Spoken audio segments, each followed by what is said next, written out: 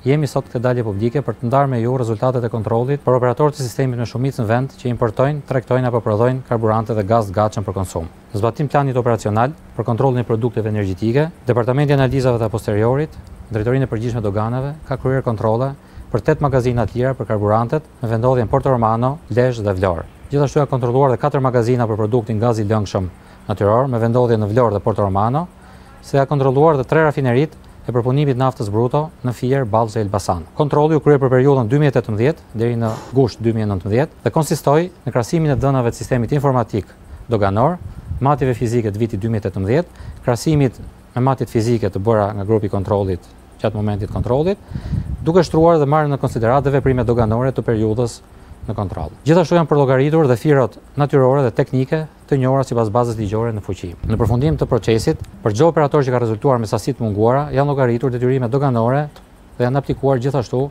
dhe sanksionet përkatëse sipas Kodit Doganor dhe Ligjit për Akcizat. Si rezultat i këtij procesi, kanë rezultuar me mangësi nga gjendja e deklaruar të gjithë operatorët që operojnë me karburant në magazinat e lira, një operator që operon me gazin natyral të lëngshëm, si dhe një rafineri prodhimi. Më konkretisht, emrat e kompanive janë si më poshtë. Royal Trade Company SHA.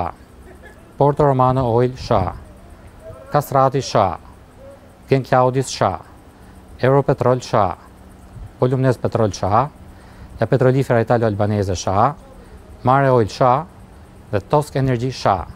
Në total nga i gjithë procesi i kontrollit rezultuan diferenca për rreth shtatëqind e pesëdhjetë e dy mijë litra karburant dhe rreth shtatëdhjetë e shtatë mijë e pesëqind litra gaz. Në total detyrimi i munguar për këto sasi është rreth qind e njëzet e nëntë milionë lekë apo përafërsisht një pikë zero gjashtë milionë euro. Jemi të ndërgjegjshëm se lufta ndaj informalitetit kërkon dhe analizimin dhe evidentimin e faktorëve të brendshëm që kanë ndikuar në zhvillimin e këtij fenomeni si dhe marrjen e masave përkatëse. Gjithashtu ka nisur procesi i nxjerrjes së përgjegjësive për çdo individ apo strukturë brenda doganës.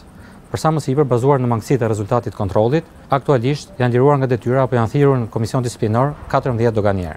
Përfitoj nga rasti të rikujtoj që ky nuk është një aksion i kufizuar në kohë, por një plan operacional veprimi, I vazhdueshëm, me objektiv të qartë, asnjë kompromis ndaj informalitetit dhe ndaj çdo operatori që të rezultojë me parregullsi.